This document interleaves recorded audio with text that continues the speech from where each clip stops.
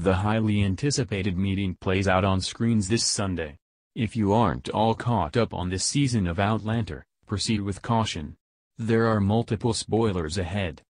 It's a moment Outlander fans have been waiting years to see on screen. Brianna is finally going to meet her father, Jamie, and the highly anticipated introduction is going to happen on Sunday.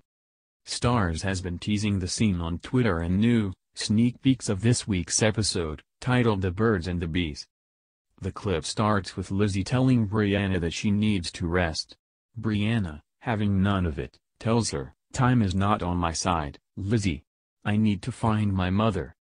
The footage then cuts to Jamie and Claire on horseback. He says to her, We haven't had much luck changing history in the past, Claire. And finally, it shows Jamie turning around and saying, Have you a message for me, lass? While we don't see Brianna in that last shot, anyone who has read the book knows who he's talking to there. All the footage is spliced together with excited messages from fans on Twitter. I'm so ready for the Brie Jamie Claire reunion I'm practically shaking, reads one. I'm dying because I can't wait until Brianna meets Jamie, reads another.